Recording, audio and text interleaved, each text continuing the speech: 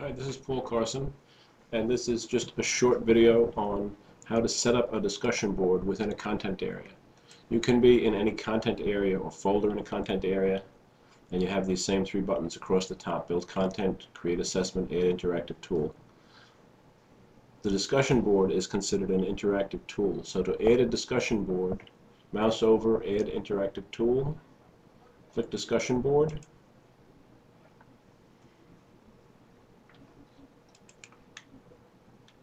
We want to create a new forum.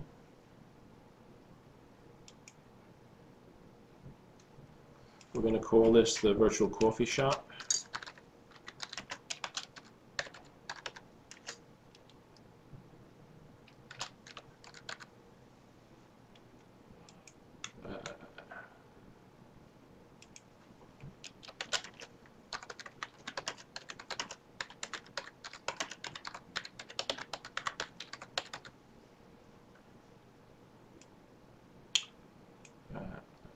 This to be available, no date restrictions, uh, no anonymous posts.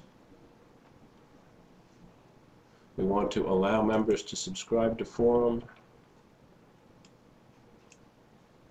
and no grading of this forum. This is just a virtual coffee shop, a place to meet and greet.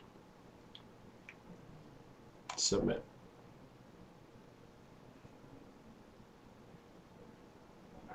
And now if we look on the discussion board, here is the virtual coffee shop. I'll move that to the top.